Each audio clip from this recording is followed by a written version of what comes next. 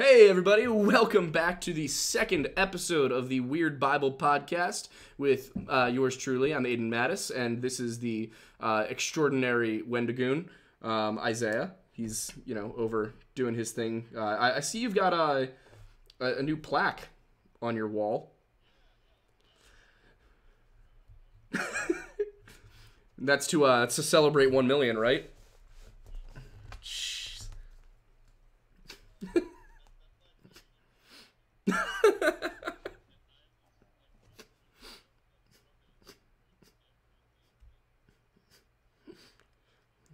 That that'll be the day that what you that you just cancel YouTube. it's the day you, it's the day you cancel yourself. You're like, I'm out. okay. oh, you love to see it. Oh, they're saying you're muted. Uh, for the love of God, you're not on my end. So, I'm I'm seeing you. That's the thing is I'm I'm getting your audio, and I just turned you back on. Um, hang on, let's see.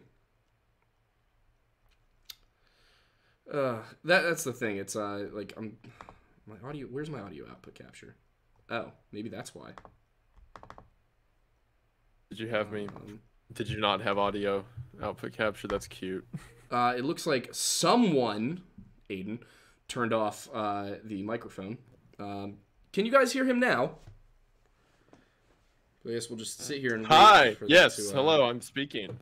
We'll see if they uh, Oh, I can. Uh, acknowledge me or if they can hear me. I can also just pull it up and see. that's what I'm doing. Yeah, I can hear me. I can hear me on the thing. Yeah, we're Oh, good. okay. Cool. Cool. Yeah, there we go. Yeah. I don't um, know what they're talking about. would, They're it, would, would it be an episode of anything on the Lore Lodge channel if there weren't technical difficulties? Uh, It'd be funny if they were just messing with you. Uh, Like yeah, uh, one of these days they're going to. But uh, you know, to, to recap, what we said was uh, you have a nice shiny gold plaque behind you. I do. It's big. Uh, it's heavy, and I said that one day it's gonna fall and break everything over here. And when it does, I'm just gonna leave it like that. So would you would you perhaps describe it as uh, as giant? Oh boy, would I? Had to get us there. All right. So So, uh, in in you know, in, light of World War Three, uh, I figured this would be a good topic to talk about. We actually did plan this a couple weeks ago. I texted Isaiah and I was like, "Hey, you want to talk about hell?" I was like, yeah, that's perfect. Well, let's That's do it. Let's go. Might as well.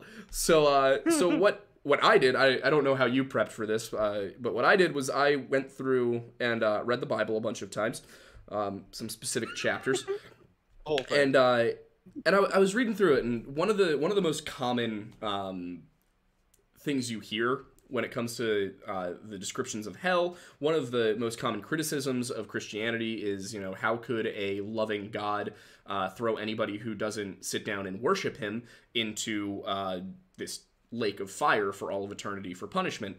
And it's a good question. Uh, that is that is a phenomenal question, and it's something that very often what I see from um, TikTokers, YouTubers, uh, even some apologists is like, oh well, that's just you know that's that's what you get for admonishing God or turning away from God.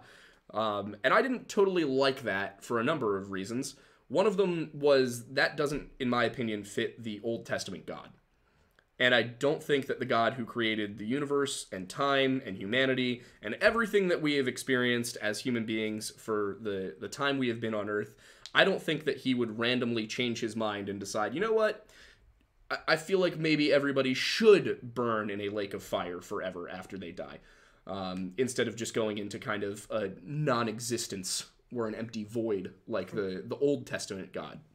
So, uh, what I did was I went through, and there are in the NKJV, uh, as well as th- this varies a little bit depending on which version you use, but in the NKJV, the New King James Version, there are 12 specific uses of the word hell. Most of them are by Christ himself. Uh, in fact, I think all of them are by Christ himself, where he's, but, but a lot of them are in parables. A few of them are not, but most of them are in parables. And what's interesting is if you look at the King James Version of the Bible, uh, or the American Standard Version of the Bible, or the English Standard Version of the Bible, or the New International Version of the Bible, the word that gets used every single time is hell. And in a lot of these, it says the fires of hell uh, into the, the lake of fire or something like that. And hell and lake actually get changed out a few times depending on which translation you're using, which I think is interesting because the word that's actually used is Gehenna.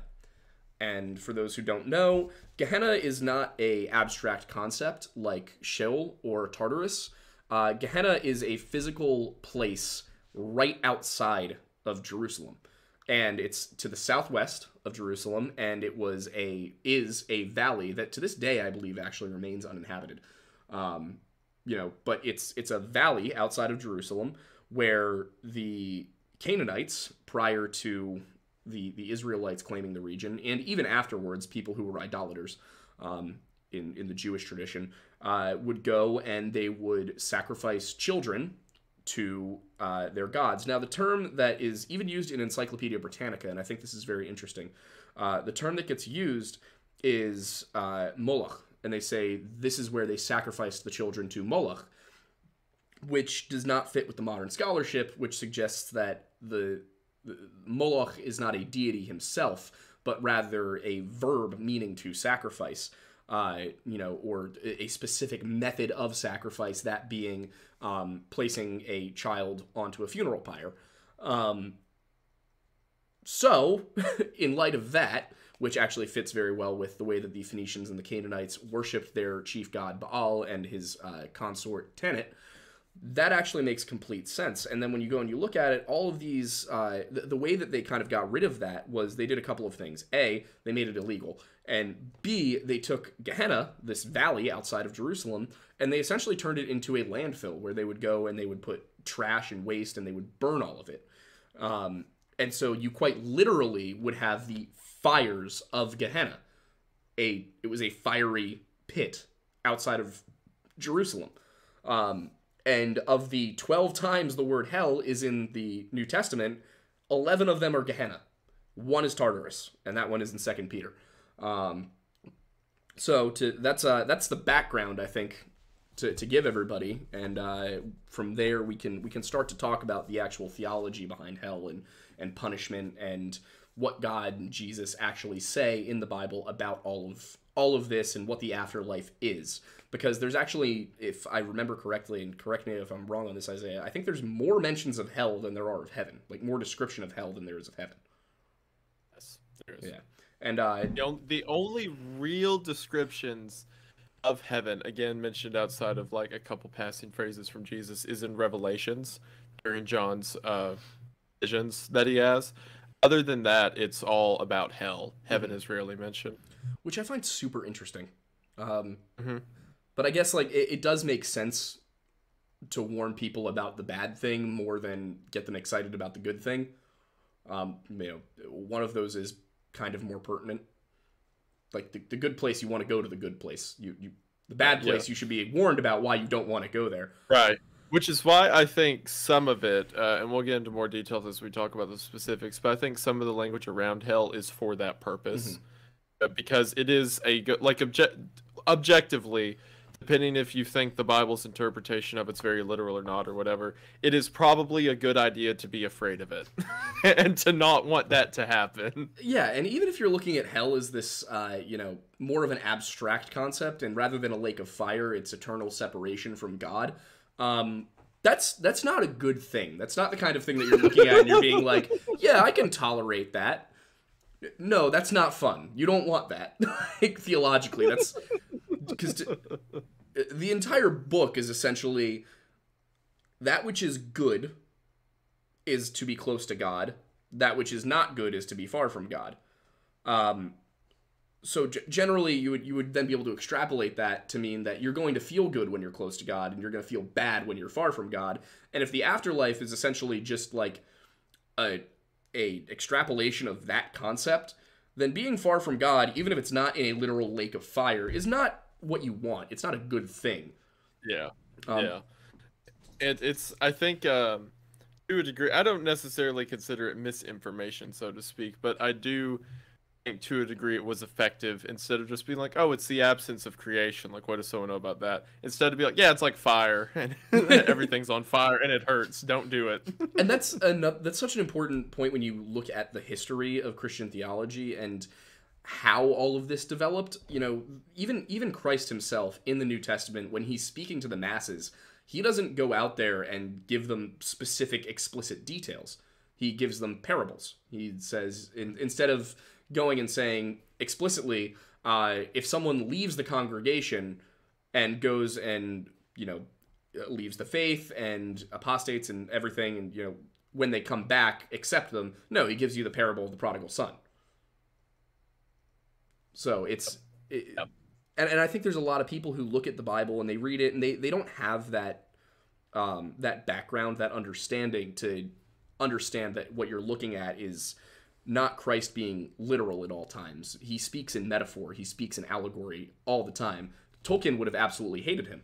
Um, Tolkien may have been a very, very like staunch Catholic, but I don't think he and Christ would have gotten along in terms of literary uh, chops. Uh, I don't think Tolkien would have liked Jesus. That's that's your take of the day. That's yeah, you know. Hey, it's we got to have some hot takes on the show. Like, you know, what are you gonna get? But yeah, so I mean, when I'm curious, you're a Sunday school teacher. You know, how do you teach mm-hmm. about hell when it comes up? Because that's got to be a question that gets asked. Yeah, so it comes up a lot. Uh, for those that don't know, my Sunday school class also isn't your stereotypical like, you know, elementary school, preschool. It's like a high school and college age class. So questions about things like that about eternity are pretty common outside of just, you know, what happens to us when we die. Um, the way I normally teach it is with everything I do, I try to, well, I keep everything grounded in the Bible uh, to keep it direct. And I really emphasize the thing like it is eternal separation from God. Um, I, the big, like, this is more of a personal opinion than it is a biblical one.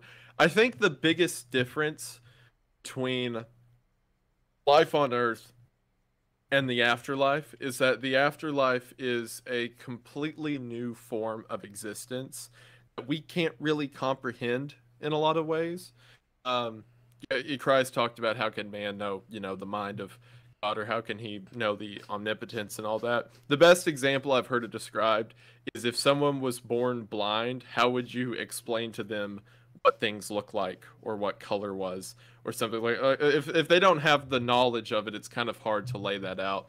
And i think a lot of uh, the messages in the bible are done in that way. It is jesus um, or god speaking through man of this eternal wisdom and knowledge of existence trying to talk to us who has a very finite perception of reality about what the afterlife is and everything else. So that being said if it is not, which I, I, I do agree that I don't think it is God flicking sinners into hell for all eternity. That's a very like past couple century evangelical mindset of how the afterlife works and all that. Um, I do think that with a lot of the stuff Jesus said, it is the closest he could describe it that we could understand, in my opinion. Um, so that so like maybe not you know, like you said, 100% literal with everything, but I also don't necessarily think he was using trickery or trying to like get people to lean their heads one way when it's actually the other. Again, it's explaining to something that has no concept of what the reality of the situation is and just being like, yeah, it's like fire. Yeah, you get that. You know what a fire is. and Idiot. I think that's that's a really salient point about the entire Bible too, because there are a lot of points where when something is being described to human beings, it very often takes the form of symbolism or allegory. Even when it is meant to be taken pretty literally, it's it's being described in a way people can understand.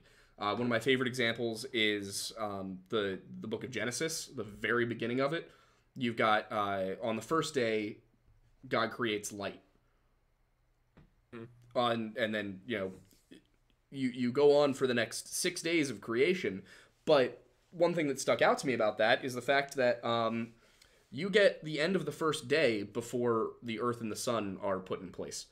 Um, so how can you possibly describe something as a day when there are no days yet. And I think the reasoning behind that wording in the Bible is that what he's doing is he's not necessarily separating time into specific 24 hour days of creation, but rather it's separating time into six blocks. And then on the seventh day, God rests. Um, and I don't know how, how do you feel about that? I think um, with a lot of that, like with the days of creation, I guess I'm kind of a middle of the road approach because God God is omnipotent, correct? Like he is mm-hmm. an all powerful. He he can do whatever he wants, right? If he wanted to snap and everything exists, then by our understanding, everything should exist in a moment, in an instant. Um, that being said, I am very thankful that the way God decided to create the world is through means of science and like matter and mm-hmm. physics that we can comprehend. Because could you imagine if everything was like outside of our realm of view. Like if like something like something exploded or stuff and we didn't know how matter works or anything we're like oh let's hope that doesn't happen again. Like that would be terrifying if things happened and we had no feasibility with it. Yeah and, um, and when you look at the old testament like a lot of the time things do happen that you don't you don't like that they definitely didn't have an understanding of like we might be able yes, to go exactly. and we might be able to go look back and be like, oh, okay, like that's how that can happen.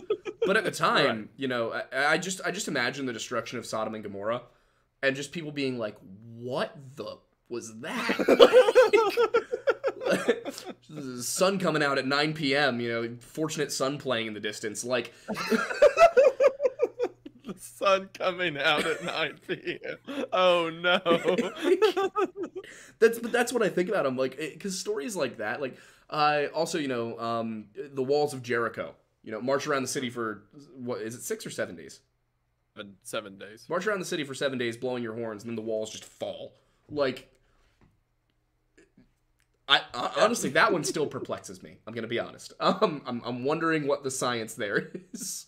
Oh, I think with a lot of it, something else to realize is whenever, before we were in the age of faith and grace that we're currently in now, before Jesus died and all that, um, things on earth that had to do with the spiritual were much much more physical, and the reason for that was the Holy Spirit had not yet left the presence of God, mm-hmm. so God had to physically interact with things on earth. Like one of the best examples of like you know how spiritualism was so common is whenever uh, Moses went to um, the Pharaoh and said, "Let my people go," and he threw his staff on the ground and it became a serpent. Mm-hmm. Like that's crazy, right? Like that's a miracle of staff becoming a serpent. But then the Pharaoh's magicians came forward and they threw their staffs on the ground and they also became serpents.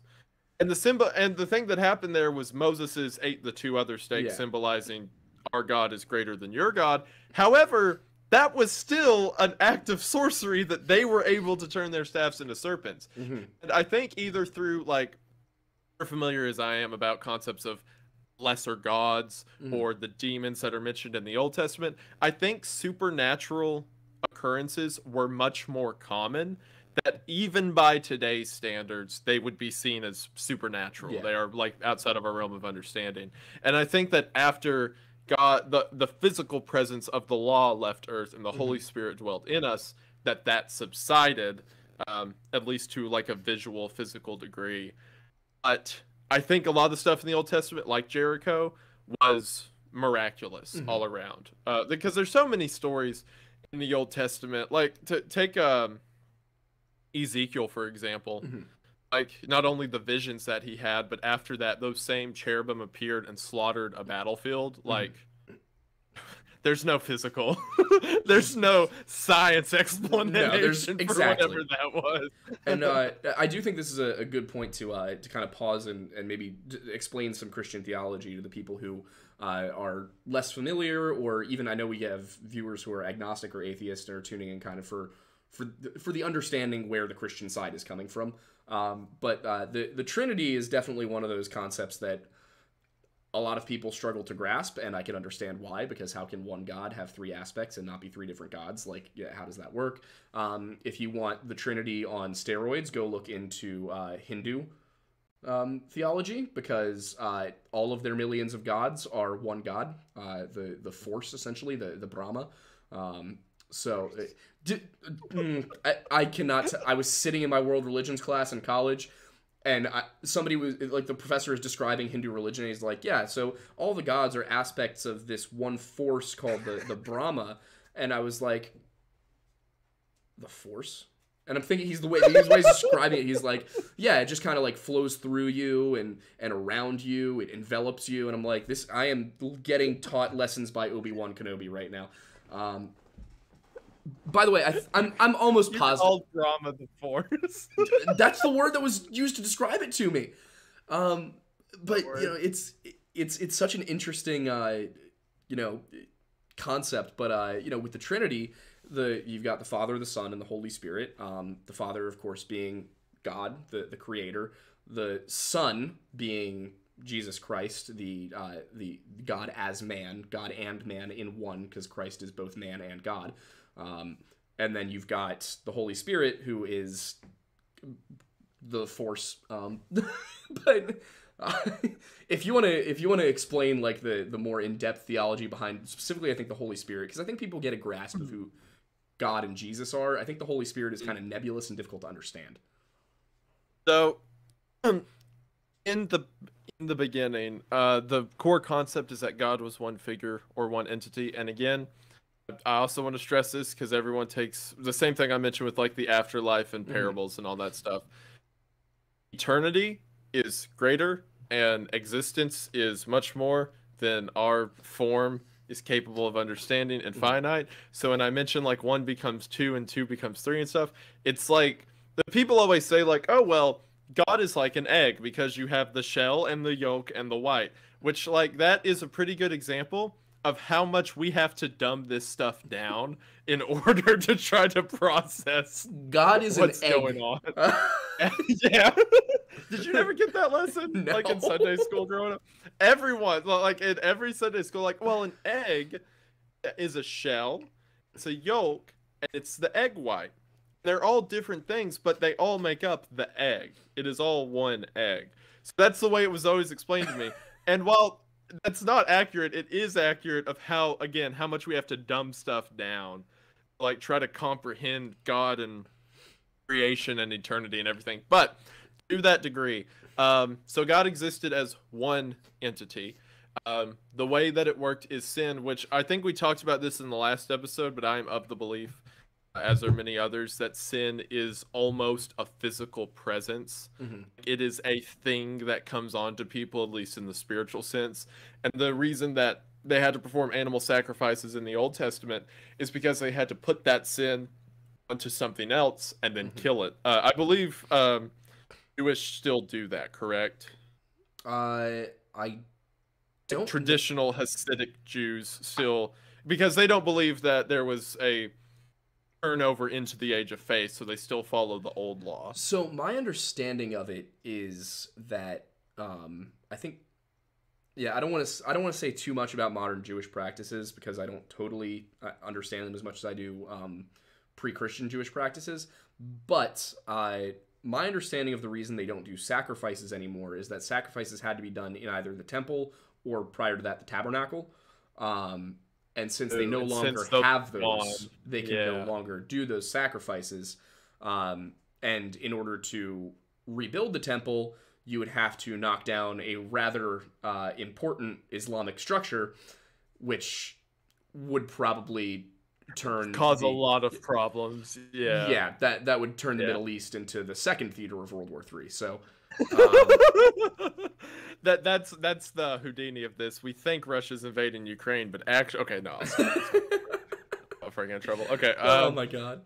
But but yeah. So anyway, that's the basic idea that in the Old Testament, whenever sin first came to the world, we were under the age of law. People had to physically take an animal, pray to put their sins on it, then kill the animal mm-hmm. to get the sin out of here. And then by doing evil tasks, they brought the sin back, and so on and so forth. That's how humanity worked forever. Mm-hmm. This is obviously not sustainable. No. Um, not only for like, is it hard to keep up with as a person, but as humanity expands and goes across the globe, um, what what everyone's gonna have their own altar set up to sacrifice animals. It didn't work out. So God knew that this was not sustainable for humanity, so there was one final sacrifice that was sent to earth. So God became two at that point Mhm. and sent his son, as is referred to in the Bible, to become man, Jesus Christ. Jesus Christ came to earth, and it says all of the sins of the entire world, everyone that, and this also goes back to my theory that time is a construct built for us by God, but Mhm. we won't touch all of that right now. but in, but in that moment on the cross, all sins from all of past humanity and all future humanity were put on Jesus at once. And when he died on the cross, that was the final sacrifice, again, Mhm. according to Christian theology. Yes. So whenever he died on the cross, that means we don't have to do the law anymore. So the new way is through the Holy Spirit. So then Jesus returns to the Father. Uh, he goes back to heaven. but does and, not become uh, one with him again. Not become one, correct? Still, still like a separate. It talks about in Revelations. He sits at the right hand Mhm. of God. They are together, but they are not a unified being again. Um, so then, God, um, new way it's done is that we're all born with sin. It's still the first sin of Adam.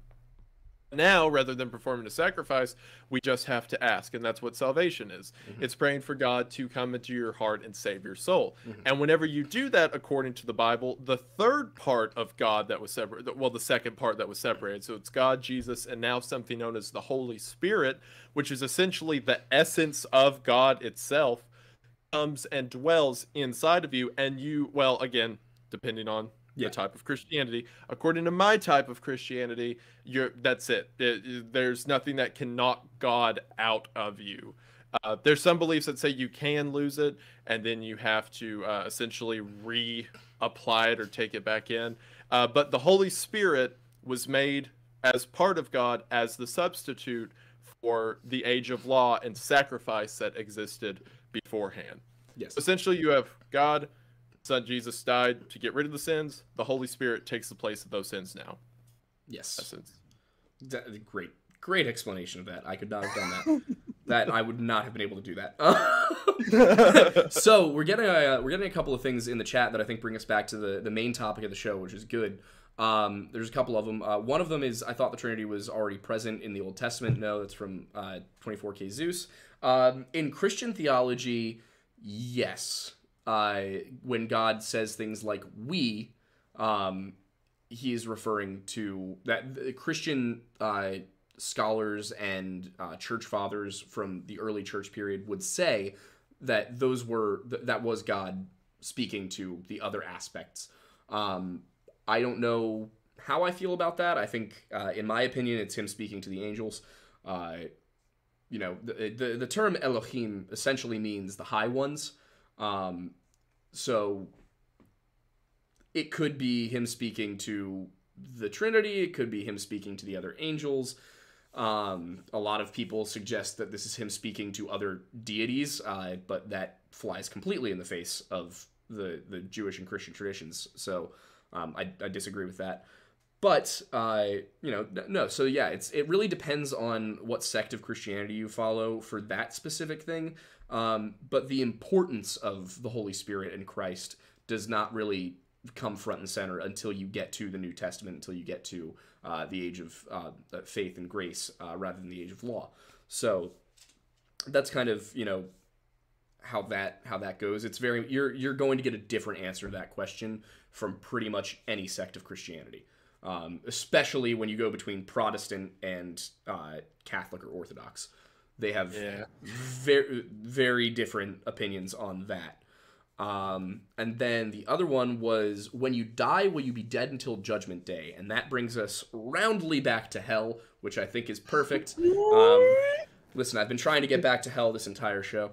Uh, but yeah, so I think uh, the the repre- the representations of hell, first of all, in modern media, I think are fascinating to to look at. Um, especially when you look at, um, for example, shows like Supernatural that deals with hell quite a I bit. I love that you always bring it back to Supernatural. Oh, yeah, you you've got- find a way. it's Every, I guess it is kind of like in. The, yeah, we're talking like the- about hell. I guess it, it's an easy through line, but you do it on purpose. I think it's the best modern interpretation of um, Christian eschatology. It's not particularly accurate, but it's they tried at least. You, you like know? the show? That's I do. I do why. like the show. Um, that's why. but, that's why but in one case, you know, it's just, it's shown as uh, people are being have like meat hooks through their flesh and they're being suspended in eternal torment. Um, very Dante of very them. Hellraiser. Uh, Yeah. Very, very Dante. Very Hellraiser. Uh, very. What was that? What was the one they go into space? Deep Horizon. Uh, Yeah. Where they go into space and find hell. All of that. Yeah. D- Warhammer, I think is what you might be thinking there. Warhammer, Yeah, yeah. Warhammer 40k, where they're like, hell is actually a warp portal where we can, you know, travel through space, but you've got to deal with demons the whole time. You Um, gotta fight hell. yeah, exactly. No, but uh, so there's a lot of interesting depictions of hell. Um, but the one thing that kind of I, I think is interesting about it is this concept of time. And like you said, you feel like time was a construct that God created for us to help us understand the world around us. But um, when it comes to death, what happens? Do we still maintain that earthly understanding of time? Are people dying and then being conscious but in limbo for however long it takes to get to Judgment Day? Uh, I'm seeing it kind of, and in, to be clear, in, in Jewish theology, uh, when you die, the you can get sent to um, Gehenna, so to speak, uh, but it's for a limited period of time. I've seen it even. I, I've seen things that are it's abstract and you know the amount of time can depend, and then I've seen people rabbis say that it's specifically no longer than eleven months, which I think is kind of funny. Um, it's just Why eleven months? it's so arbitrary, isn't it?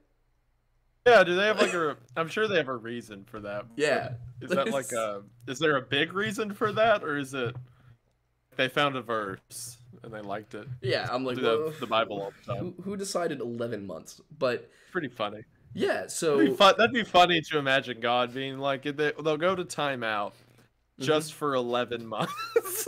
like, okay. Yeah, so like it's it's a very odd moment of specificity compared to how nebulous the rest of the Bible can be at times.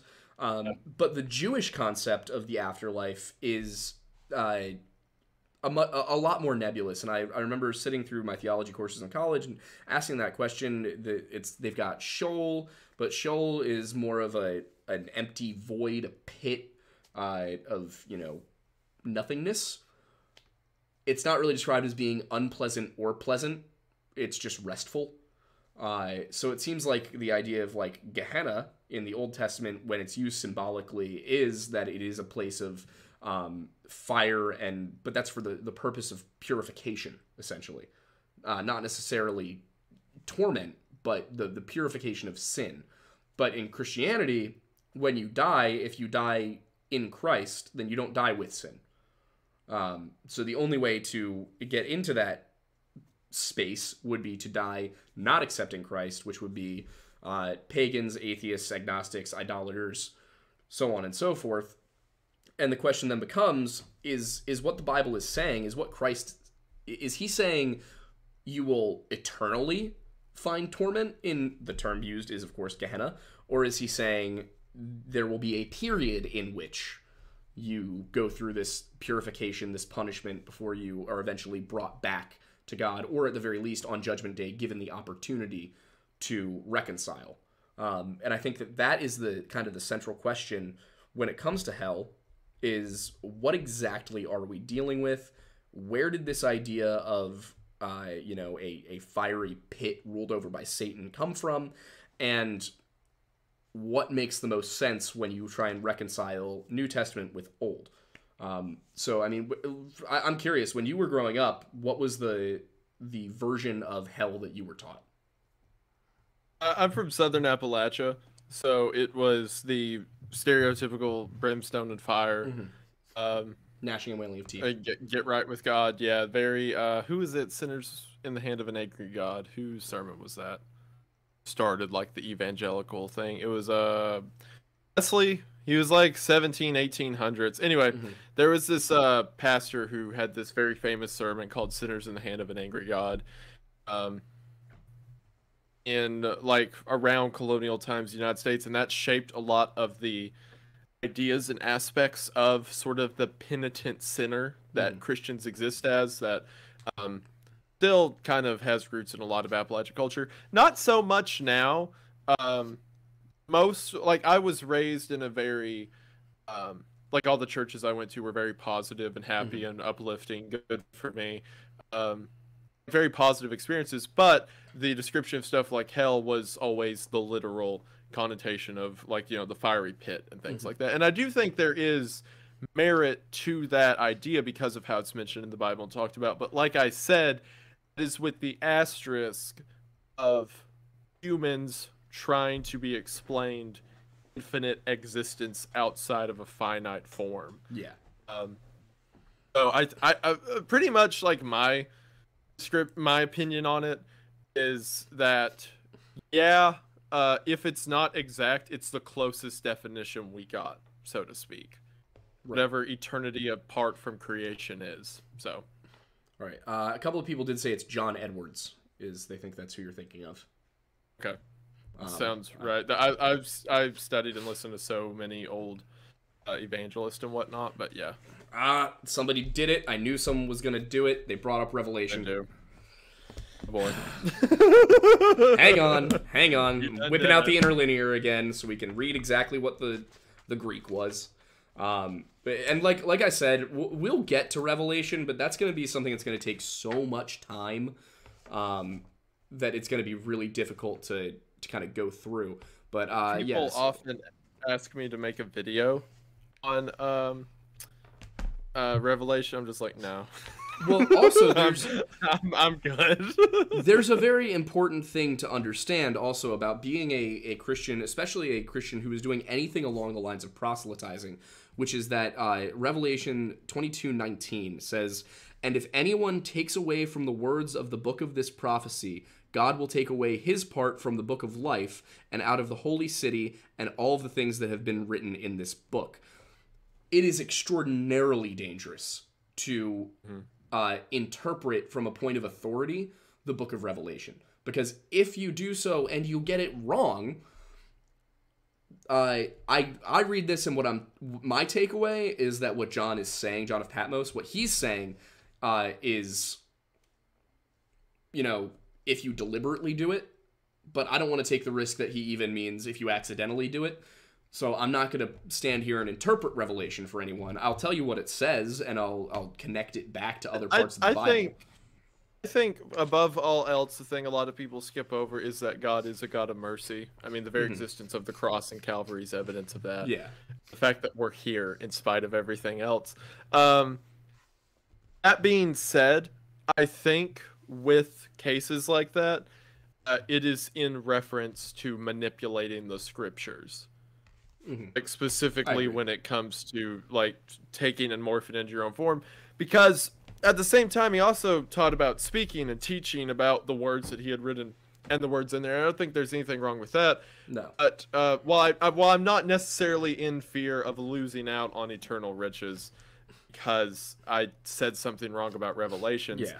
At the same time I don't want to come up as someone who supposedly knows more than someone else and be like, oh yeah, this book means, uh, and then just give my interpretation of it. Yeah. So I, th- I think it's there's definitely I, I think room for suggestion and opinion. I think it's it's just you've got to be careful about how exactly you describe it. yeah, Um, yeah, you know, and, and the the amount of uh, weight you put behind your words, so to speak. Um, I think Yeah. that uh, discussing it is fine. I just I would be very cautious about.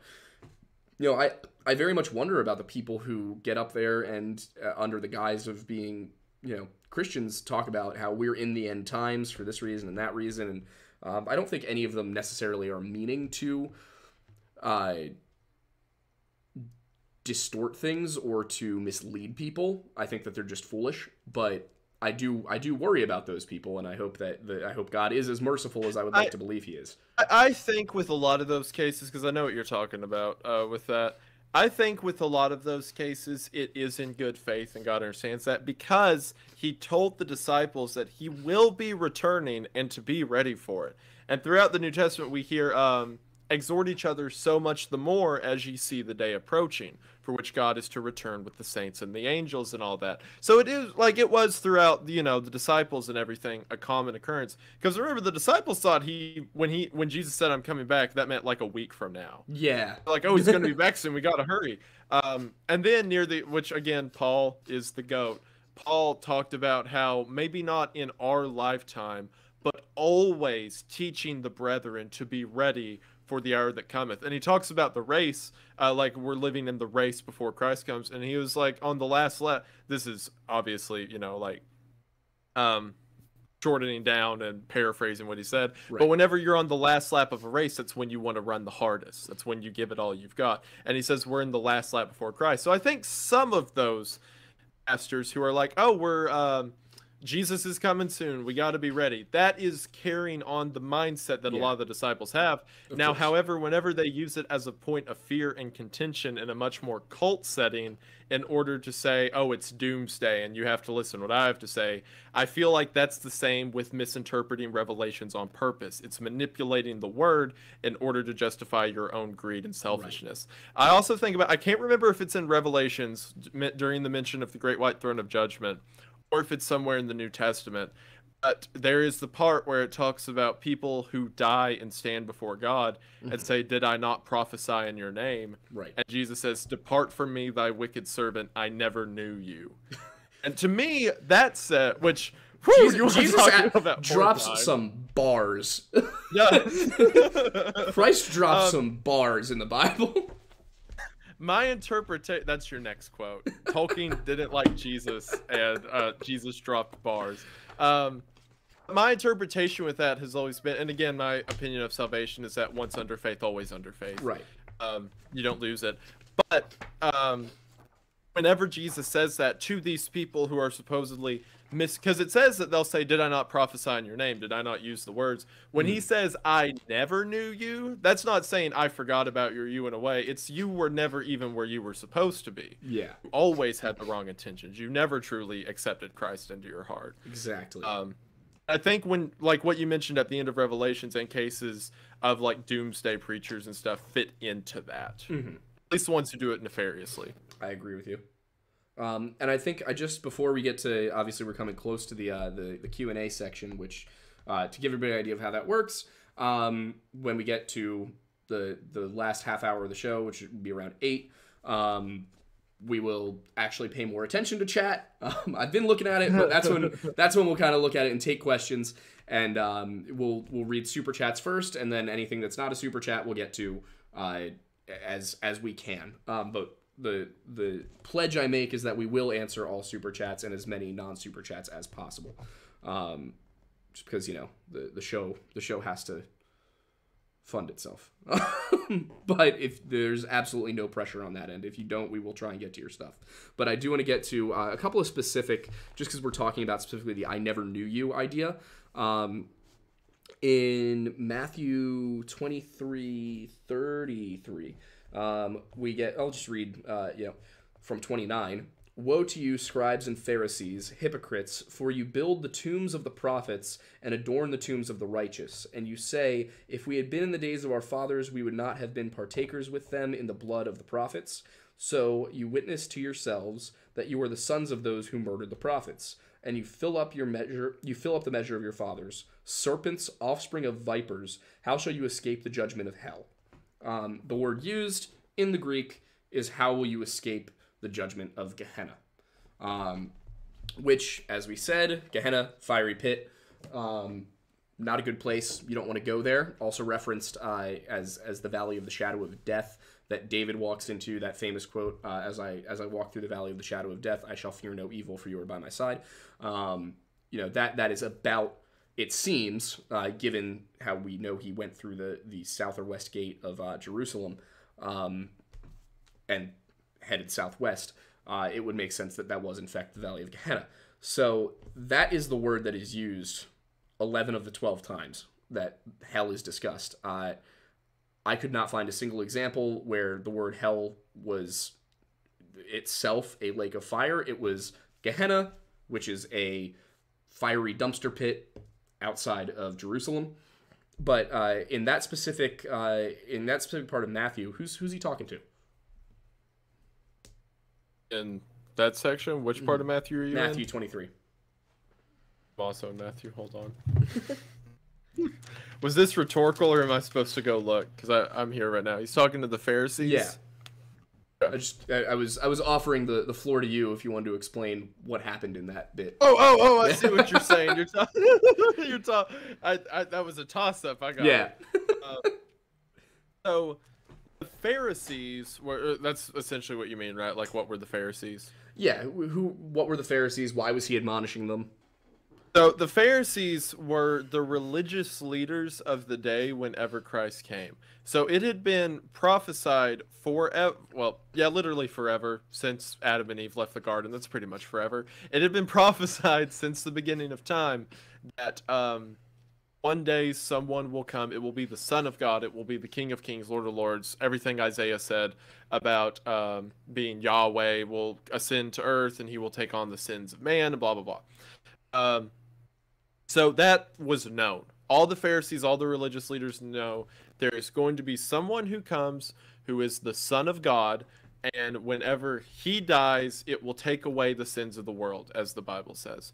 So whenever Jesus comes to them and he fulfills all the prophecies, he knows all the scriptures, and um, he fits all the descriptions for what um, it would say down to the town he was born in, the time he was born in, the star over him, all of that. He fulfills all the prophecies, but the Pharisees didn't like it. They said, No, uh, we don't accept the idea that you are the Son of God.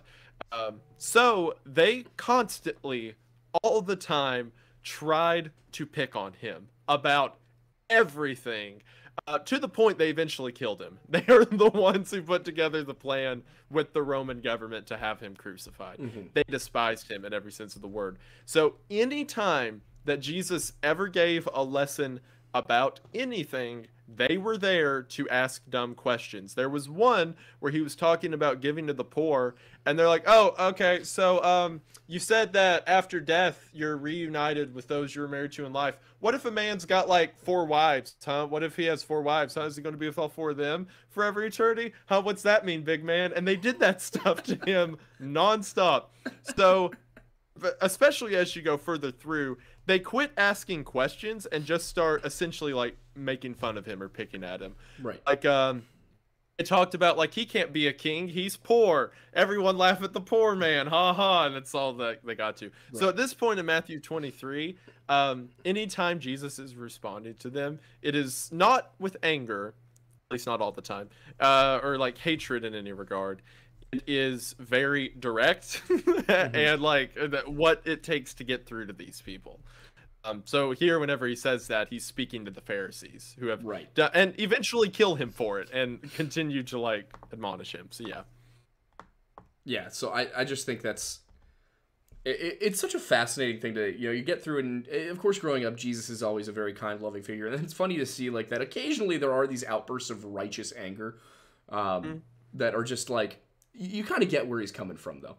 Um, well, I mean, it, it was talked throughout about there's a time for war and a time for peace. There's a time for love and a time for uh, hate. Like uh, it talks about like the different factors. that- Whew, that terrified me. sorry, That dog. Give me one second. I'll be right Uh, back. No, you're good. Continue to explain um, to the people though. Yeah, yeah, yeah. So, like, whenever it talks about like David in the Bible, right? David was a man after God's own heart. He followed like um, God to the T. He was God's most favored, at least at the time, among men. Um, and David was a warrior. He fought against the enemies. Uh, and I were actually talking before the show started about how people in my Sunday school class were asking me about how does God in the Old Testament, how is he so violent and vicious, it seems, like kill these people, knock them out. But then in the New Testament, he's all loving and Jesus. And the truth is, he was consistent throughout the entire time because those people that he was just supposed to wipe out in the Old Testament, like the Canaanites, Aiden and I were talking about how it was customary for them to sacrifice their children and put smiling masks on their face and throw them into a fire pit. So whenever God says those guys who are trying to take over your land, wipe them out, like get rid of them. That's because Yeah. they were Uh, and I talked about the serpents earlier, how the Pharaoh's magicians had serpents. These were guys who were dealing with demons uh, in order to get like black magic powers and were sacrificing babies. And Jesus and God was like, yeah, they don't need to be here. They've had their chance. Take them out. Um, so while not as violent, it is still on character for God whenever being questioned by the Pharisees to come here and say, uh, no, you're wrong. Get out of here. The famous example of Jesus getting angry is whenever he goes to the temple and they're using it to sell stuff. They're using it as a place of money and he runs them off with a whip. Mm-hmm. That is the same God who told David to kill the child murderers. So Exactly. Um, and and to be clear, it is not just the Bible that recounts uh, the Canaanites performing these sacrifices uh, of of children um, on on the altar. The the sacrifice, it, the modern scholarship does suggest that the term Moloch, which we have believed for a long time was the name of a deity, that Moloch was probably the act of giving up your child to the funeral pyre in the fashion of the Canaanites as they did. Um, this is also documented by the Romans and the Greeks. So this this is the way that Canaanites practiced their religion, and of course, this was not popular with the Jews um, for some pretty obvious reasons, and the Jewish God was disgusted by it. So um, I just I, I wanted to bring up that specific part, by the way, of Matthew because I I don't look at that and see the Son of God coming to some of the most high-ranking Jews alive and saying, You're all going to hell. What I see is him coming to them and explaining in terms they would understand through because Gehenna was a place they would be very well acquainted with historically. I see that as him coming to them and saying like how how can you stand before me in this way? How can how can you reconcile your actions with, you know, with what what the word says, with what my father has said. Um, and that what he's threatening them with is not eternal punishment, but instead something they would be very, very well acquainted with, which is the concept of Gehenna as a place of righteous purification. Um, so I just think that that's that's why I wanted to bring that up as the last point to kind of tie everything together. That hell, Gehenna, um, this concept of the afterlife is not nearly as black and white as it is often thought to be, as it is often explained to people. Uh, growing up, um, I was raised in a weird set of traditions, but primarily Baptist, where what I was taught was uh, there are two afterlives. You can go to heaven or you can go to hell. You want to go to heaven because it's paradise. You don't want to go to hell because it's a lake of fire. It does not seem nearly that binary to me, uh, in in Christ's own words. And the just to be clear the the 12th time it's used is the the word that is translated to hell is actually tartarus which for those of you who know your greek mythology uh, read your percy jackson um, you know that's that's just a bottomless pit for all of eternity. Uh, still not a great way to go but also not a lake of fire um, but I do think that that gets us to about the time where we should start taking questions. Well, I, I, I do Unless, want to say okay. real quick because uh, I did get some research done, believe it or not, for this one, you. where my where my uh, main focus was places where hell is not specifically said in name but alluded to. Mm-hmm. It kind of backs up the idea of it being like a not good place, um, but the descriptions of it being a little out there. So, for an example of it, there's something that is mentioned in Matthew a lot that we're going to see. Mm-hmm. In uh, Matthew 8, verse 12, this is him talking. Um, the disciples, and it says, uh, I'll start in verse 11. It says, And I say unto you that many shall come from the east and west and shall sit down with Abraham and Isaac and Jacob in the kingdom of heaven. Mm-hmm. The children of the kingdom shall be cast out into outer darkness. There shall be weeping and gnashing of teeth. That is, again, a not good way to be described as ending with the gnashing of teeth. Yeah. And I wonder, this is probably outside the scope for this podcast, but I wonder what the original translations for like gnashing of teeth were. Because it keeps coming what, up. What's the exact uh, passage that you're looking at? Uh, so this one's in Matthew 8 12. Um, Keep the other time that. other time it's mentioned is in Matthew 13 and verse 42. Again, this time he's talking to um, uh, he's giving a sermon to a multitude, and it says, uh, "The Son of Man shall send forth his angels, and they shall gather out of his kingdom all things that offend and them which do iniquity." shall cast them into a furnace of fire. There shall be wailing and gnashing of teeth. Gnashing of teeth and again. If you go a little bit down to verse 50, it says, uh, so, well, verse 49 right before it says, So shall it be at the end of the world. The angels shall come forth and sever the wicked from among the just, and shall cast them into the furnace of fire. There shall be wailing and gnashing of teeth. Gnashing of teeth keeps on coming up, which is why I was curious about That what the original would be. Go ahead. that is the the original translation. There will be weeping and gnashing of the teeth. Um, Th- That's that pretty is on the money apparent- then. that that is the direct Greek to English. Um, the, Uh, the in literal chapter Greek to English. Chapter 25, verse 30. Cast ye the unprofitable servant into outer darkness, there shall be weeping and gnashing of teeth. and that that's the interesting thing that keeps coming back is I keep hearing um, these these two separate things. There is the the Gehenna of fire, which is the actual Greek to English. is It's not the lake of fire. It's not the valley. It's the Gehenna of fire, um, or just Gehenna. And then there's the outer darkness with the weeping and gnashing of teeth. So I, I do also wonder if these are two separate things you can experience. Um, you know, if if eh, perhaps it is that you go through a period where you are in fiery torment to be purified, and then if you still renounce God, if you still reject Him, then you go into the outer darkness. Um, I also think that in Revelation, there's a very interesting point at which it says that uh, the idolaters and the murderers and the, the worst of the worst people will be, uh, you know, they'll be sent into the lake of fire where they're going to perish with Satan as, and his angels. Um, So I think that, you know, I, I do wonder if what we're looking at here is it's maybe over the many, many years this has been dumbed down so much into a binary when it was never supposed to be. Uh, That is interesting. Uh, do you think that maybe potentially where some of the ideas of purgatory come from? I do think that may be where some of the ideas of purgatory come from. What? So, all right. So this is like this is the most popular depiction of hell from the Bible, and it's the parable of Lazarus and the rich man. You know what word is because the verse, as it's read in Luke, says um, It's Luke, what? uh, it's Luke sixteen twenty three. The English, so I'll read it for everyone. So the, this is a story Jesus is telling.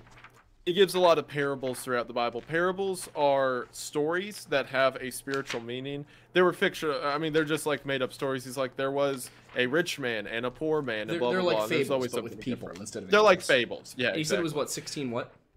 twenty three. 1623, okay. Uh, and this is it in normal English. It says uh, so at the end of the story, the rich man dies, and the whole parable is that he had all the riches of the world, but didn't um, trust in God. So it says, and in hell he lift up his eyes, being in torments, and seeth Abraham afar off, and Lazarus in his bosom. He cried and said, Father Abraham, have mercy on me, and send Lazarus that he may dip the tongue, the tip of his finger in water, and cool my tongue, for I am tormented in this flame. Mm-hmm. Goes back to eternal torment and fire and Right. all of that. Which again, uh, I I like my interpretation of the Bible is I take it literally to be safe a lot of the Mhm. time.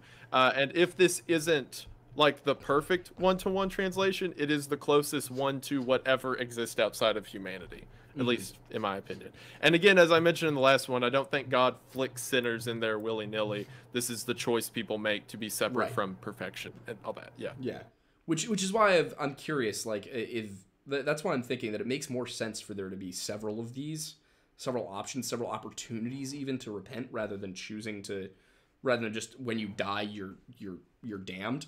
Uh, you know, I think that it, it the the God the God that I understand from this book is not one who would willfully throw someone away for making mistakes in life. Um, The only time it talks about casting or throwing people into the flame is it talks about the wicked and the evil that the angels uh, take them and cast them out. And again, We are talking about something as infinite as angels doing a physical action of picking someone up and carrying them. I think there's a lot more implications when it comes to divinity and if this is like physical interactions or not, or if it's spiritual battles or what have you. Again, I think what Jesus said is the best way to possibly say it to do it in a means that we can process. Yes, I agree. To give you the exact direct translation here um, in the Greek, what you get is uh, let's see, uh, and also the rich one, and was buried, and in Hades. Hades is the Greek word. Interesting. Which- Ooh boy. How Uh, often does that show up in the Bible? Yeah, it uh, surprisingly often. Wow. in, Interesting. in okay, I didn't know that. specifically specifically in the Greek, uh, the the New Testament. So that that's interesting, and it's important to realize Hades uh, is the name of a god, um, the the god of the underworld, but it also in um, the the later period uh, in, under Rome and in Koine Greek could be a term that could just simply mean the realm of Hades, the the Greek afterlife, um, which, as we know, is is similar.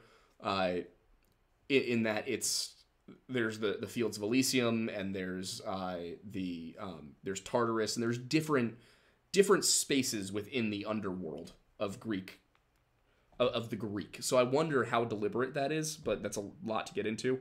Um, Interesting. yeah, and in Hades, lifting up the eyes of him, being in torments, he sees Abraham from afar and Lazarus in the bosoms of him. And oh, this is hard to read.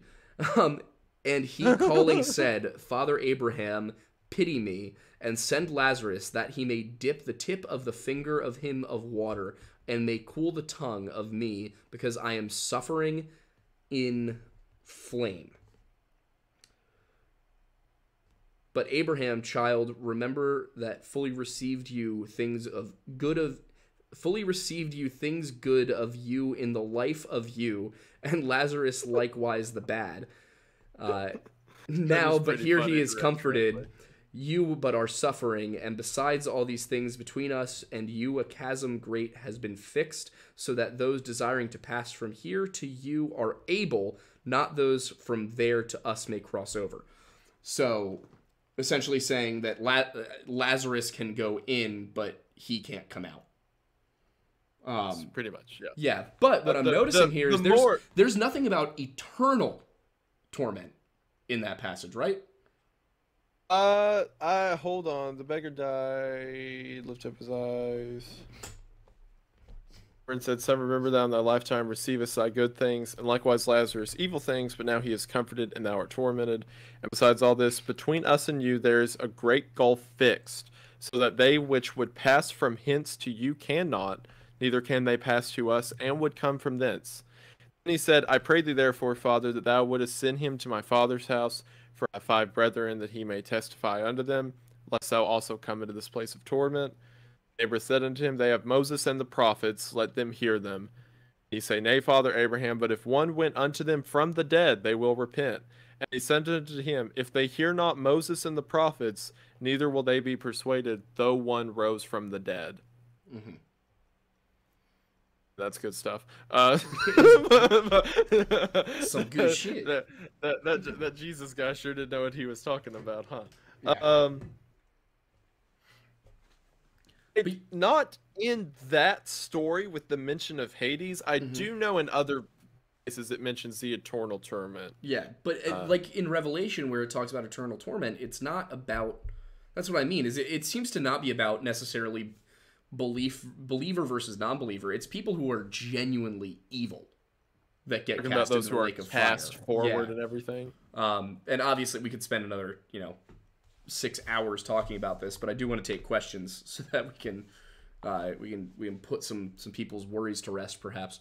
Um, we've got a couple of super chats that I'll read first. Um, so uh, from Jelly Knife, we have uh, for twenty dollars. Thank you, Jelly Knife. Uh, found both of you guys on TikTok. Now it's hard going to sleep without a vid to listen to. Well, thankfully for you, we have many, many videos.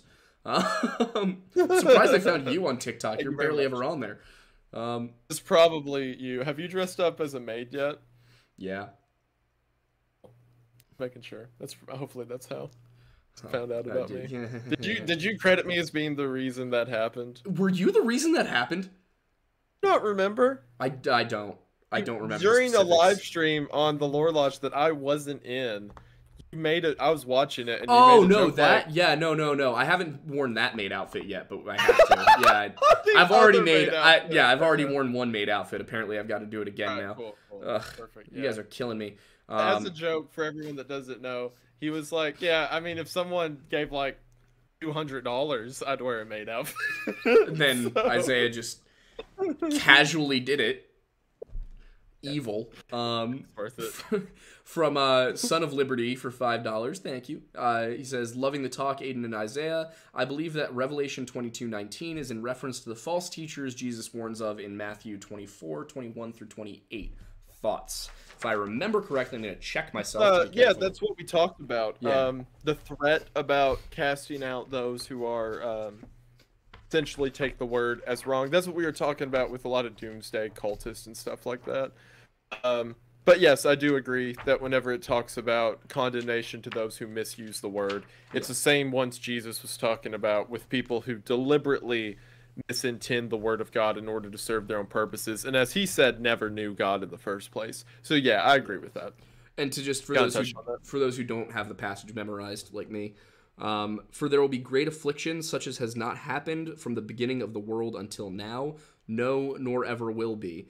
And except those days were shortened, not any flesh would be saved, but on account of the elect, those days will be shortened. Then, if anyone says to you, Behold, here is the Christ, or Here, do not believe. For false Christs and false prophets will rise up, and they will give great signs and wonders, so as to lead others astray, if possible, even the elect. The elect, of course, being those who are saved by faith. Um, let's see. Uh, Behold, I tell you beforehand. Then, if they say to you, Behold, he is in the wilderness, do not go out. Behold, he is in the inner rooms, do not believe. For as the lightning comes forth from the east and shines as far as the west, so also will be the coming of the Son of Man. For wherever the dead body may be, there the eagles will be gathered. Which, frustratingly, frustratingly, that last line has been used a lot recently with the whole Ukraine thing, because they're like, "Oh, well, the Eagles gathering. That's that's the Yeah. Americans," and I'm like, "Nope. I I think, I- I I- think that no." that drives me up a wall. That like if you don't know, uh, for those who aren't like in biblical circles or whatever, anytime something happens in the news that is of the tiniest bit of significance, they're like, oh, in Revelations. There's a bear that's mentioned, and uh, there's a flag. Uh, the, the California flag has a bear on it. So this is it, it- this is it. This is what he meant. California is gonna sink into the ocean tomorrow every single time. It's so annoying. would get rid of a lot of but yeah, they're doing pedophiles the that same did. All right. Anyway, we're moving on. Anyway, back to back to trouble. question time. Uh, we are We'll in the Q and A section. There, Yeah. uh, there's two questions from Salty Steve that I Yes, can answer real sure. quick. Go for it. Uh, so Salty Steve had one question where they said, "Am I named after uh, the prophet Isaiah from the Bible?" Which, uh, yes, I am because my father, uh, before he was saved, he was the first generation Christian in our family. Uh, before he was saved, he was a very proud man, uh, had a lot of money, and kind of hated um, religion and like Christian Christianity in general. Um, and then he heard a sermon from a pastor where he quoted Isaiah 41 not 41 isaiah 51 anyway it's the verse that says uh, your righteousness are as filthy rags before the lord. And that was the thing that clicked in his head like oh all the stuff i've built what is that to god? That doesn't really mean anything. And that was like the start of his uh, turnaround to christianity. So when i was born he decided to name me isaiah after that. Um, the other question is salty steve said that her neighbor or th- their neighbor um, had a picture or spray painted on a billboard um John 316 um no is they said it was on the side of a barn they had John Mhm. 316 but they didn't have the verse and they were curious what the verse is Mhm. so uh, in the book of John, at that moment, there is a man by the name of Nicodemus. Nicodemus was a Pharisee, correct? I think so. Yeah, so he was a Pharisee who actually started to like the words that Jesus was saying. So he comes to him at night by himself and asks Jesus all these questions. And a lot of the principles of modern Christianity come from what Jesus told the Pharisee there um, about being born again and salvation. And what he tells Nicodemus in John 3:16 is like the cornerstone of all Christianity itself. Uh, the Nicodemus asks him, "Then what? Eh, okay, if you are the Son of God and you're coming to Earth, what's the point? Why are you here?" And Jesus says in John 3:16, "For God so loved the world that He sent His only begotten Son." that Whosoever believeth in him shall not perish but have everlasting life. And that one verse, John 3:16, is like the asterisk or the pinpoint for Christianity and religion itself. Mm-hmm. God sent his son die on the cross, and then people who trust in him have everlasting life.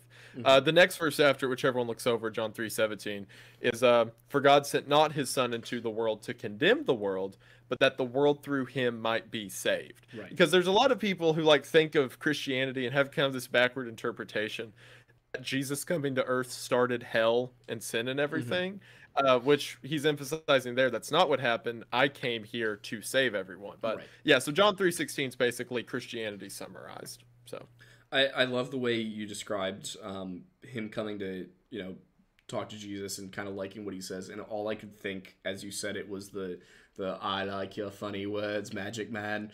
like that just like was just blaring in my brain as you Jesus spoke. Gives it's like first century Pharisee like knowledge of the infinite and creation, and he's I like your funny words, Magic Man. it's just like it makes sense. It fits.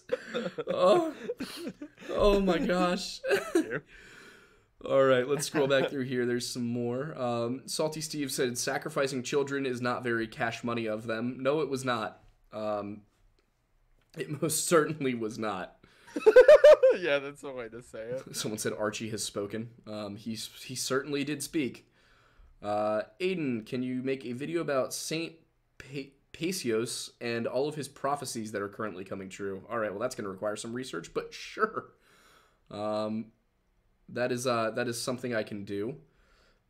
Uh, da, da, da. Just scrolling back through some of these. Um, Nordic hell is literally an Arctic tundra, while Christian hell resembles the core of the earth. I I mean, yes, uh, that is that is true. Nordic hell is interesting. It's it's very much like the the same idea of the afterlife is neither pleasant nor unpleasant. It's just there.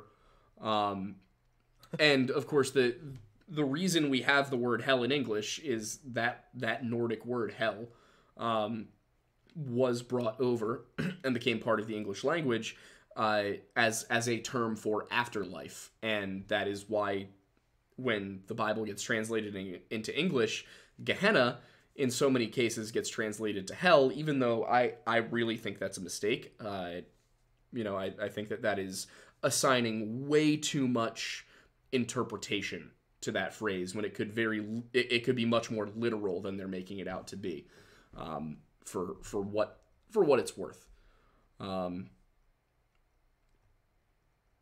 let's see we're gonna scroll down see what else um, we got uh, what what were Gabriel's seven messages he delivers in the Bible? That was a question for you.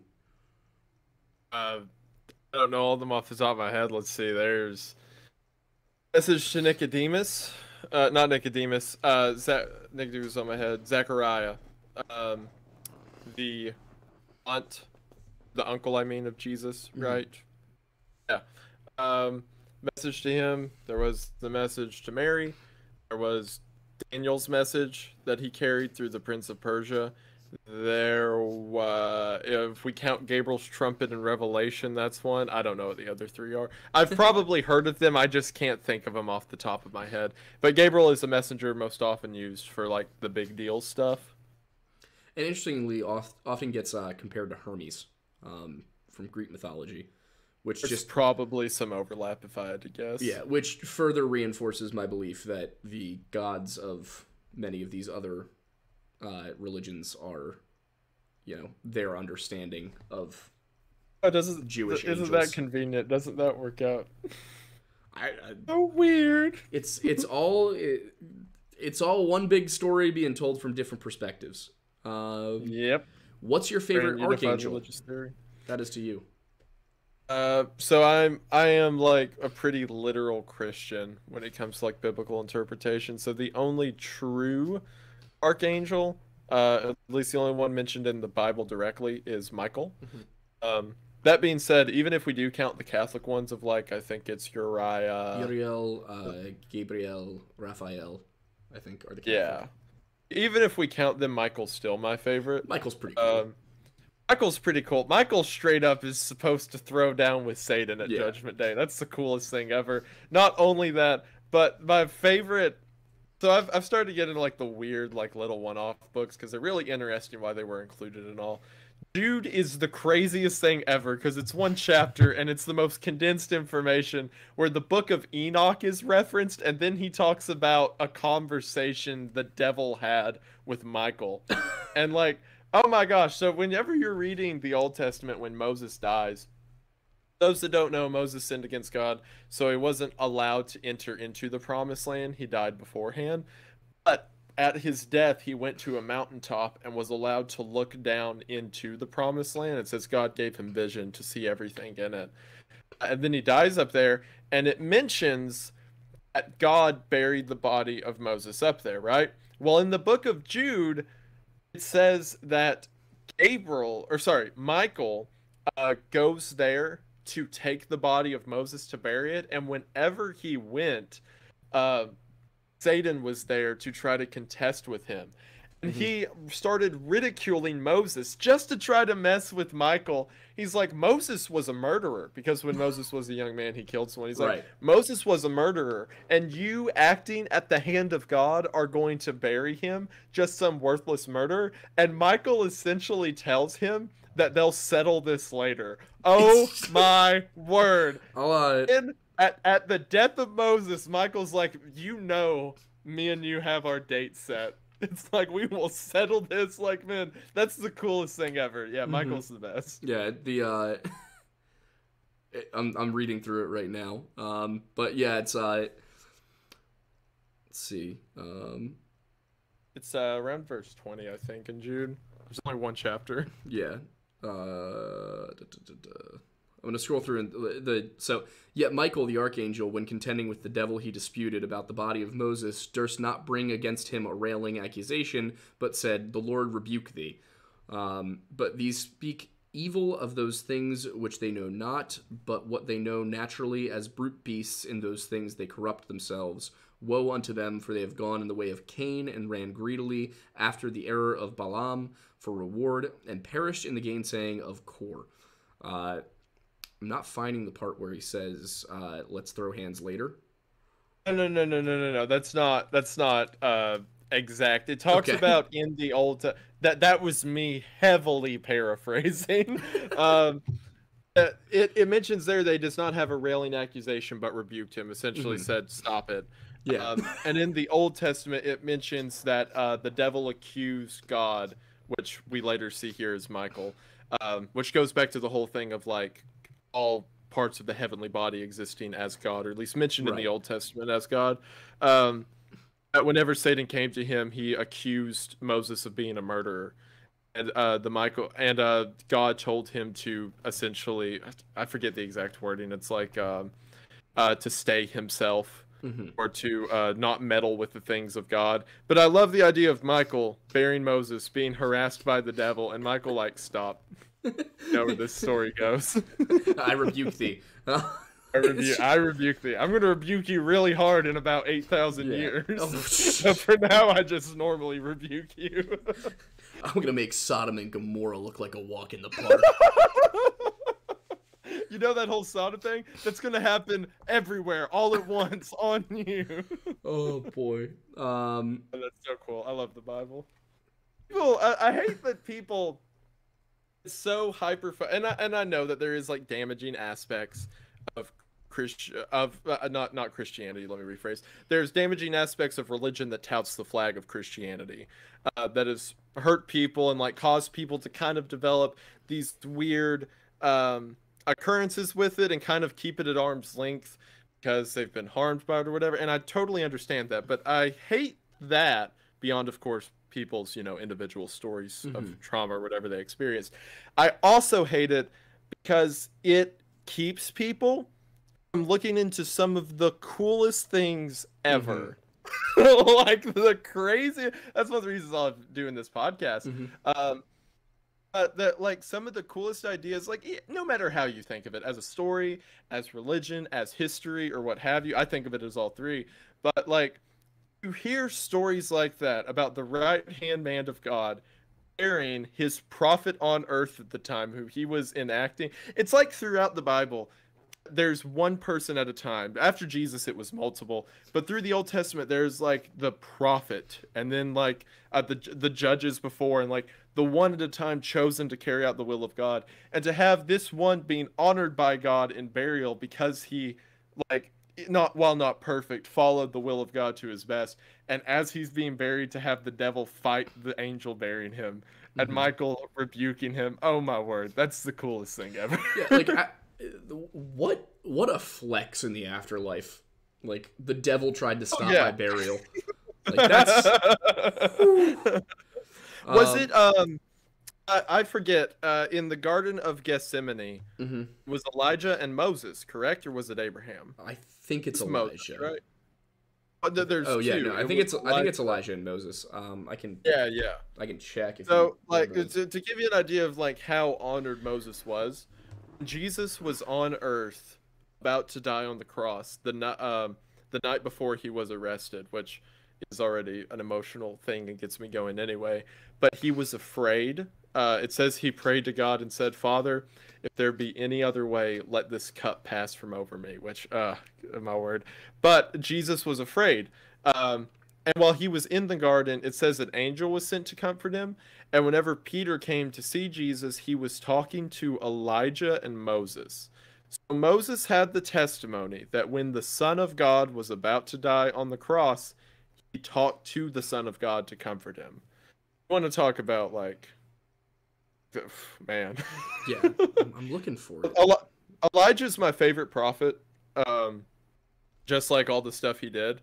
Um, there's this one like I I did a study of Elijah and read through it, and with every character in the Bible, especially the Old Testament, there's like a moment that is very highlighted and pointed out where it's like, and this is where they messed up. Like this was their big goof. There's what they did wrong.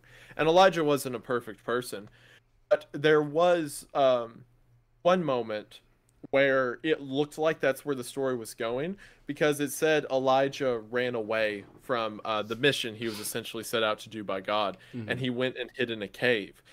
And it says God came and talked to him in the cave and said, "Why do you hide?" And I, I, I was like, this is going to be the moment in the story that Elijah was afraid. Like Mhm. that's what his sin's going to be. He's like, I'm afraid I can't do it. And Elijah looked at God and said, How could I, as so humble and pathetic a beggar, speak for the words of the master? hmm Oh my word. Like like him like his his like moment of cracking faith wasn't I can't do this um because I'm afraid because I'm like sinful or whatever it was i'm not worthy enough to do this. And because of that god it says god shakes the mountains and that's the that's where the still small voice comes in. He shakes the mountains he causes whirlwinds and hurricanes.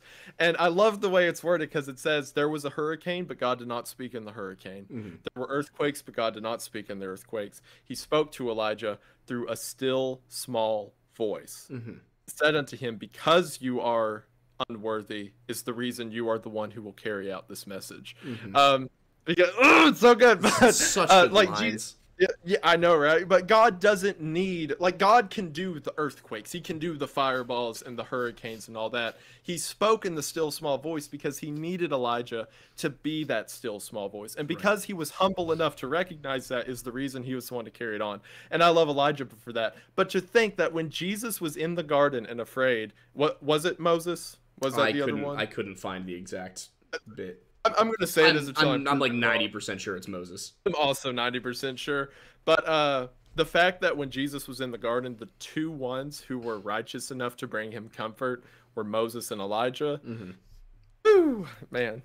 yeah, it's there's some really cool passages. Like even if even if you don't want to believe it, at least read it because there's some good zingers in there. Like yeah. Um, I do want to get to a couple more of these. Uh, let's see, we've got. Can I can I say one more thing Sure. about Elijah real quick while I'm thinking about it? So Elijah is also the sarcastic prophet. Um, uh, like every single line, there is a zinger or something that he does. Um, there's a part where he goes to the king. It's been a drought for 30 years, I think, and he goes to the king. And so essentially says something to the effect of, "Wow." Man, what are you gonna do with all this water everywhere? Man, like, oh, you got so much water already, like mocking the king essentially. And then after um they have a there's a competition the king holds where he's like, Elijah, you get your God and see if he can perform a miracle, and I'll get my prophets of I think it was Baal. I, I'll get my prophets of Baal and we'll see if they can do a miracle. And Elijah won the competition. And afterwards, um keep in mind it has been a drought for 30 years. Mhm. Elijah says, "Leave and don't let the rain stop you." And as soon as he says it, it starts raining. like, oh my word! I, just, I, I want I want to see these as like really high production quality short films. like I know, right? that would Like, just be wouldn't so, cool? sick to watch.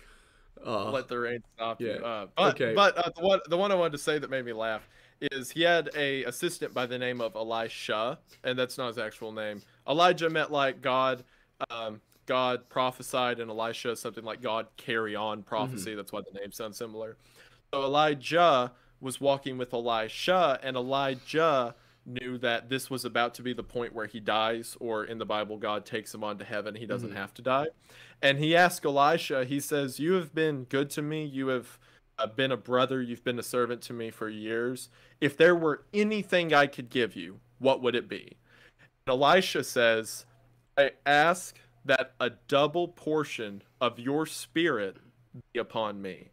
Like all, all this love you have for God and this charisma and everything you have, I want twice as that. That that's what I want. And Elijah says, Thou hast asked a hard thing.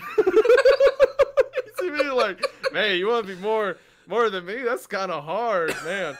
and uh, but but he says, um, This will God do, and they hug.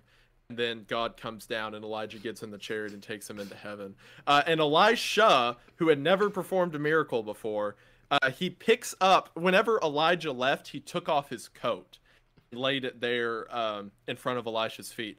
So Elisha puts on the coat, symbolically, you know, continuing on the work of Elijah. He walks back to the river that they had took taken a boat across, and the entire town's watching him. They watch Elijah and Elisha travel into the woods, and just Elisha come back wearing Elijah's coat. Elisha takes off his coat, slaps the water, and the water parts. he walks across the water, and everyone's like, "Oh, oh no!" I, I love the Old Testament. That's the It's got some s- such good stories. We we need more. Uh, we need more Joseph King of Dreams style. Uh, yes, man, that movie's so Yeah. good. um, Oh my word. Anyway, But yeah, so uh, all right, we got one. I'm just gonna try and get through these really quick. Uh, we got one from uh, JTK Vid that says, "Is the idea of temporary suffering veering into universalism, or not really, because it would still allow for people to reject God after periods of suffering, sort of like purgatory, I guess."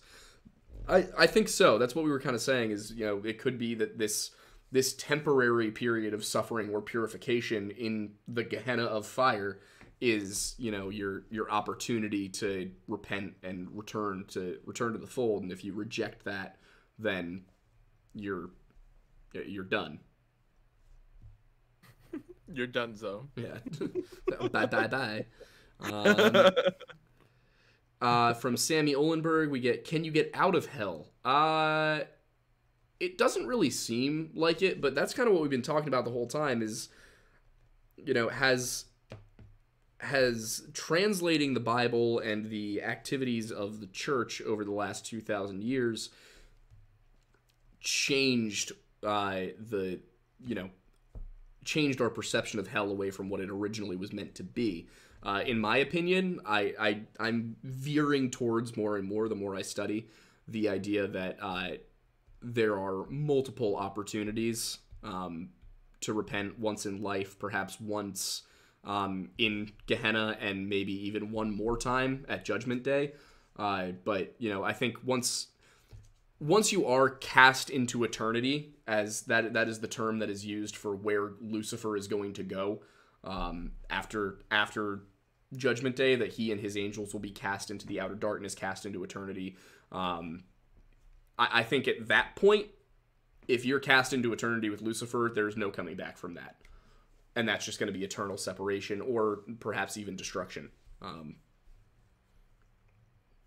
someone did ask uh, what happens to uh, giants upon their death. Now the thing is, if, if we're going, if, I, I'm gonna, I'm gonna really quickly say something uh, because I found it very interesting. In the Book of Enoch, uh, it is said that those spirits which are made on earth will remain on earth, and those spirits which are made in heaven will remain in heaven after death. So, again, Enoch is not considered scripture. Enoch is considered. Uh, it's not even deuterocanonical. It's just considered this Christian adjacent work. Giants. You tell me the giants are ghosts now? I'm Is telling you're I'm telling you that the book of Enoch says that when the telling- Don't- don't you Nephilim die, when the Nephilim die, their evil spirits remain on earth. That is what Enoch says. Do this to me. So yes, I'm uh, already, I'm already weird enough. I can't add this to the. when, when the giants die, they become um, Every like time I go on a normal podcast or interview, they're like, "Hey, we're here with Wendigoon. So you you think giants are real, huh? You idiot, huh? You big stupid idiot. You think giants are real?" Meanwhile, And I'm here encouraging you. yeah. Meanwhile, Aidan's like, "Did you- "Yeah, they're ghosts too. Did you know that? You should start telling people that they're that's where ghosts come from." Just- If I do that, I will never work again in this industry. they will not talk to me. If I'm trying to, yeah, no, giants are real, and guess what? Go poltergeist and stuff. Those are giants. Those are giant ghosts. Don't make me weirder. I I'm struggling as is. Oh my god, I love it. Uh, someone said, "Will the video on demand be available later?" Yes, uh, as soon as it finishes processing, this will be available to view. So uh, tonight, even. Um, let's see what else do we have. Somebody said Paradiso when. Uh, hopefully next month. All right, very succinct. Uh, Misty Moment Channel says Michael is goaded. Uh, I I would agree. Uh, but is he goaded with the sauce? Um, Nazarite says What is it uh. Solomon had seven hundred wives. About yeah. Yeah, Actually, I actually did that in Sunday school uh, last week about Solomon's uh, death. Because the wives, it's uh, yeah. Keep in mind, Solomon. It says he was tempted by his wives to follow their gods. He followed the god of the Canaanites and the god of the. Uh, that's where uh, Moloch's mentioned again there too. It says he followed the Moloch of the Canaanites. yeah. So, Which would mean um, the sacrificial practices of the Canaanites in the newer. Yeah. So think The think newer about scholarship. Solomon, the wisest man who ever lived, who talked to God directly and had all these gifts, being tempted to sacrifice kids for false Yeah. gods. Yeah. that- really paints some heavy stuff. Solomon in a different. And I gotta say, uh, gonna make this get real weird now. As a Freemason, that has stunning implications on my on my philosophical worldview. Oh, it does, doesn't it? Yeah. Yeah. Idiot. Because a lot of. okay, giant boy. Uh, Stop that. No, you you did this to me. You stop that right now. I'm gonna read it. I'm gonna read it just to spite you. Hold on. Um. Uh, da- bu- bu- bu- bu- uh, uh, where where? Hold on. It came to pass when Solomon was old that his wives turned away his heart after other gods, and his heart was not perfect with the Lord his God, as was the heart of David his father. Ooh, there's another like quick zinger. Yeah. For Solomon went after Ashtoreth, the goddess of the Zidonians, and after Milcom, the abomination of the Ammonites. And Solomon did evil in the sight of the Lord, and went not fully after the Lord, as did David his father. Then did Solomon build up a high place for Chim- Chemosh, the abomination of Moab, in the hill that is before Jerusalem, and for Moloch, the abomination of the children of Ammon. Mhm. Likewise did he for all his strange wives, which burnt incense and sacrificed unto their gods. This is for you, the mason. And the Lord was angry with Solomon because his heart was turned from the Lord God of Israel, which had appeared unto him twice. That's the Bible being like you, you saw God twice, and you're still like, uh, I like this killing baby thing better. to be to As be commanded- fair, to in my defense, Go ahead, The- try. the parts about Solomon that we like are not those ones. Uh, That's what you think. that's Then true. I am only down. I'm only a fourth degree. down, Yeah. When you get to fifth degree, they're like, okay, so his wives are actually cool. We like his wife. That's that's why Uh. there's 33 of them is because you know you've got to slowly like you got to bury the lead. no, Yeah, but uh, I, no, I do intend to. I will say I do intend to uh, reach at least 32nd degree. Um, and uh, What happens at thirty third degree? How many of those are there? that's like it's there's not that many. It's a very it's really an honorary title that nothing changed. There's no lesson associated with it. It's just something that's conferred upon you for uh, great service to Freemasonry. Um, I would love to have a conversation with you sometime as friends, just about how that Yeah. structure works. Oh, we absolutely can. Um, I, w- I would love to. We'll we'll talk about it another time. But uh, yeah, no. So that's the thing though that I that I obviously determined when I became a Mason was like if this ever does veer into Satanism, Luciferianism, um, or rejection of God and Christ as a Christian, I'm going to walk away from it. Now I won't be able to uh, say why necessarily, but uh, I, I will say this: if you ever see me walk away from Freemasonry, know that there was a good reason. Um, Interesting. I, I can I'll be I watching your career with great Yeah. interest. bringing Star Wars into this. Um, but yeah, no. If I ever walk away from from Freemasonry, I will not be saying why because I took an oath of secrecy and I swore that oath to God. Um, so if that is ever, yeah. So uh, oh, you're you're you're talking big based oaths and covenants and everything else. so, I'm liking what um, I'm hearing. Very cool. And and to be clear for anybody who might be like, he's telling us secrets about Freemasons, all of this is published online by Freemasons. Like this is all I I don't say the things I'm not allowed to say. Um, also, there's like books where you can actually that, that are published by the Masons that tell you every single step of the rituals. It's and they're not. You can get them on Amazon. I'm not going to tell you the Like names. people but- who just broke the oath. Or had the authorization of um, one of the Grand Lodges Interesting. uh, in some cases. For example, uh, Morals and Dogma by Albert Pike, um, who was a 33rd degree Mason. Uh, that entire book was authorized by the Southern jurisdiction of uh, Scottish Rite Masons in America. So, Morals and Dogma. What a title for a book. Morals and Dogma of Freemasonry. Wow. Yeah, but all right. Well, that is uh, that is going to take us to the end of the show. Thank you everybody for watching. Um, as you all know, Wendigoon can be found as Wendigoon everywhere except I think Twitter, right? I'm just Wendigoon 8 over there, so Yep. still, yeah, if you type it in. Yeah. And uh, you are currently watching this on the Lore Lodge YouTube channel. If you have not yet, subscribe. You know, we, we like that when you do that. It makes us feel good about ourselves. Uh, number go up, my dopamine go up. So please and thank you. Um, and you can find me at the Aidan Mattis on basically everything. So uh, without further ado, I think that's going to be the end of the show. And we'll be back in a month with another weird Bible topic. Thank you. Perfect.